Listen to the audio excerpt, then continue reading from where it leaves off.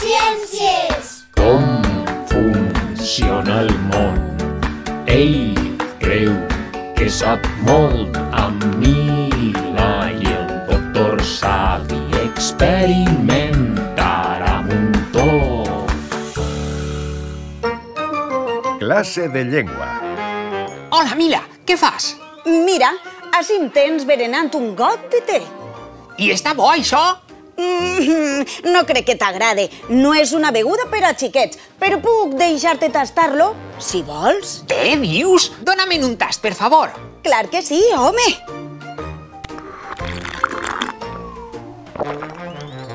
Bleh, quin fàstic! No entenc com t'agrada això.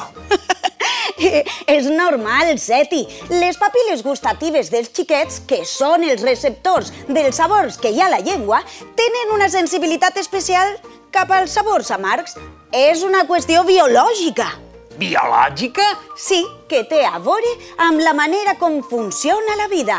A més, este rebuig cap a les coses amargues mm, vos protegís de menjar verí, ja que les coses tòxiques tenen habitualment un gust amarg. A mi m'agraden el sabor dolç i el salat.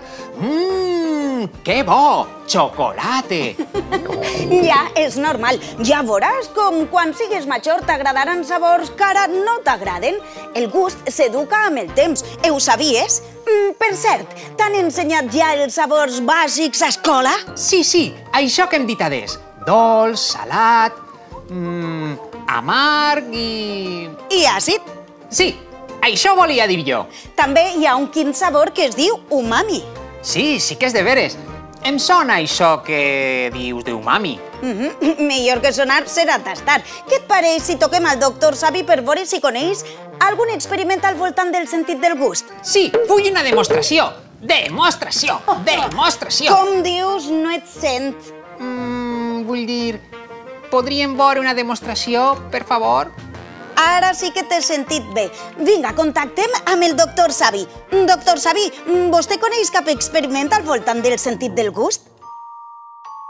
Hola, aprenents de científic. I tant que en conec un, Mila.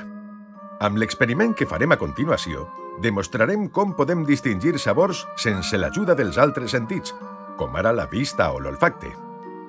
Teniu en compte que este joc serà millor que el feu amb amics, perquè així serà molt més divertit. També necessitareu l'ajuda d'un adult que farà de director. Necessitareu aigua, vinagre, sal, sucre, cafè, llet, cinc gots, una cullereta, uns tovallons de paper i un mocador o una tela per a cobrir-vos els ulls. Comencem! Primer, preparem les solucions en els cinc gots. El primer amb aigua i un poc de vinagre. El segon amb aigua i un poc de sal.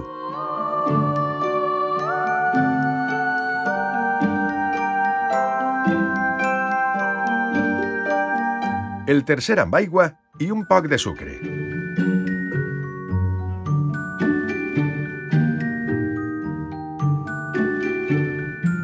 El quart amb aigua i un poc de cafè. I l'últim amb llet només. Cadascun dels participants es cobrís els ulls mentre l'adult, que fa de director, li dona a tastar els diferents sabors amb la cullereta.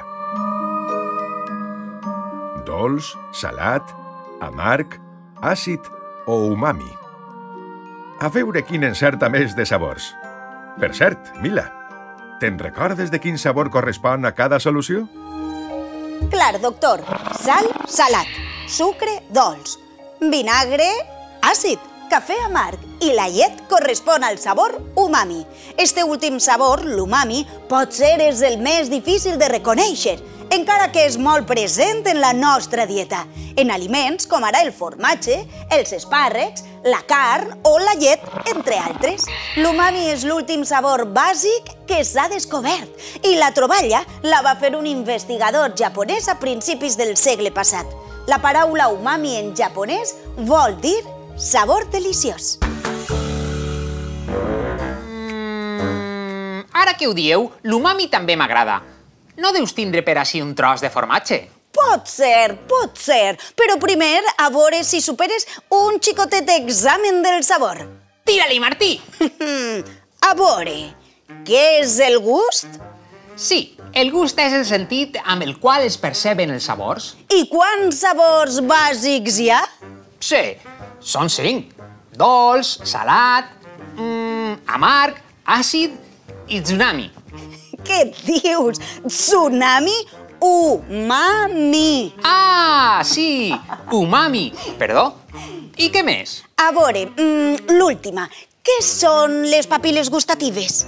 Eixa és molt fàcil. Són uns xicotets receptors dels sabors que hi ha a la llengua. Molt bé, xicot. Ara sí que t'has guanyat el formatge. Yupi! Amb Mila i el doctor savi experiment